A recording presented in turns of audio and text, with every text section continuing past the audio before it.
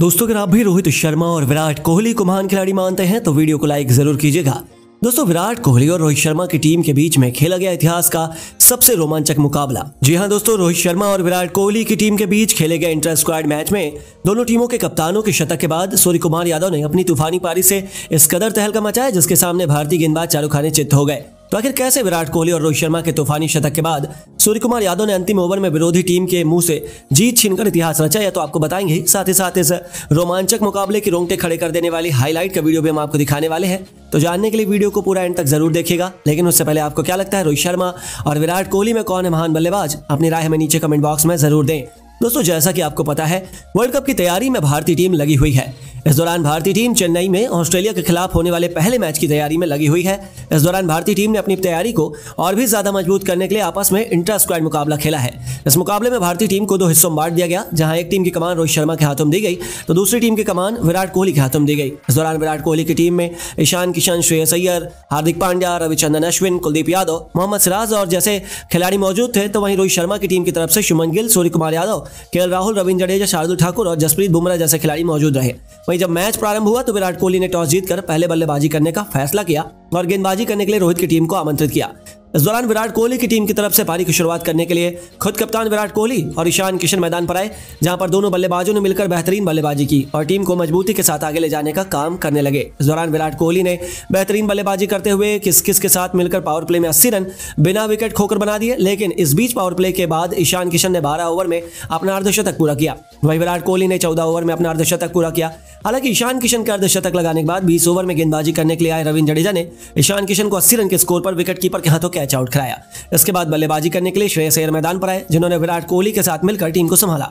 इस दौरान श्रेयस अय्यर ने भी अपना अर्धशतक पूरा किया। इस दौरान श्रेयस अय्यर ने उनतीस ओवर में अपना अर्धशतक पूरा किया तो दूसरी तरफ़ से विराट कोहली ने बत्तीस ओवर में अपना शतक पूरा कर लिया। हालाँकि विराट कोहली शतक लगाने के बाद भी बेहतरीन बल्लेबाजी कर रहे थे, लेकिन दूसरी तरफ़ से बल्लेबाजी कर रहे श्रेयस अय्यर, अर्धशतक लगाने के बाद चौसठ रन पर अपना विकेट, चौतीस ओवर में गेंदबाज शार्दुल ठाकुर के सामने एलबीडब्ल्यू आउट होकर पवेलियन को लौट गए, जिसके बाद बल्लेबाजी करने के लिए हार्दिक पांड्या मैदान पर आए।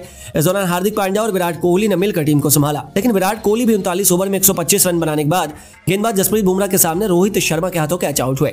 इसके बाद बल्लेबाजी करने रविचंद्रन अश्विन आए। इस दौरान दोनों बल्लेबाजों ने मिलकर अंत तक टीम को संभाला। अश्विन ने 35 और हार्दिक पांड्या ने 45 रन की पारी खेली। जिसके चलते विराट कोहली की टीम ने तीन सौ अड़तालीस रन बना दिए। हालाँकि तीन रनों के लक्ष्य का पीछा करने के लिए जैसे ही रोहित शर्मा की टीम मैदान पर आई तो रोहित शर्मा की टीम की तरफ़ से पारी की शुरुआत खुद कप्तान रोहित शर्मा और शुभमन गिल ने की।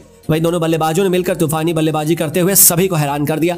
इस दौरान दोनों ने पावर प्ले की समाप्ति तक पचहत्तर रन बिना विकेट खोकर बटोरे। हालाँकि दोनों बल्लेबाजों ने टीम को संभाल कर अपना अर्धशतक पूरा कर लिया, जहाँ रोहित शर्मा ने बारह शुमन गिल ने तेरह ओवर में अपना पूरा किया। लेकिन इसी बीच में शुमन गिल चौबीस ओवर में अठासी रन बनाने के बाद गेंदबाज कुलदीप यादव के सामने एलबीडब्ल्यू आउट हो गए। इसके बाद बल्लेबाजी करने के राहुल मैदान पर आए और इस दौरान के राहुल ने रोहित शर्मा के साथ मिलकर टीम को संभाला।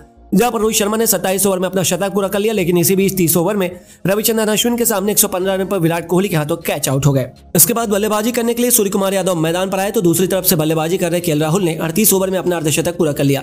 लेकिन अर्धशतक पूरा करने के तुरंत बाद चालीस ओवर में अंठावन रन के स्कोर पर गेंदबाज हार्दिक पांड्या के सामने कॉट एंड बोल्ड हो गए। इसके बाद बल्लेबाजी करने के लिए रविंद्र जडेजा मैदान पर आए, जिन्होंने सूर्य कुमार यादव के साथ मिलकर टीम को संभाला। इस दौरान सूर्य कुमार यादव ने इकतालीस ओवर में अपना अर्धशतक पूरा किया। हालाँकि दूसरी तरफ़ से बेहतरीन बल्लेबाजी कर रहे रविंद्र जडेजा को अर्धशतक लगाने से मोहम्मद सिराज ने रोका और पैंतालीस ओवर में पच्चीस रन के स्कोर पर विकेट कीपर के हाथों कैच आउट कराया। इसके बाद बल्लेबाजी करने के लिए शार्दुल ठाकुर मैदान पर आए। इनको भी सैंतालीस ओवर में पाँच रन के स्कोर पर एलबीडब्ल्यू आउट कर दिया गया और मैच को काफ़ी ज़्यादा रोमांचक बनाया गया, क्योंकि जीत के लिए दो ओवर में उन्नीस रन की ज़रूरत पड़ी।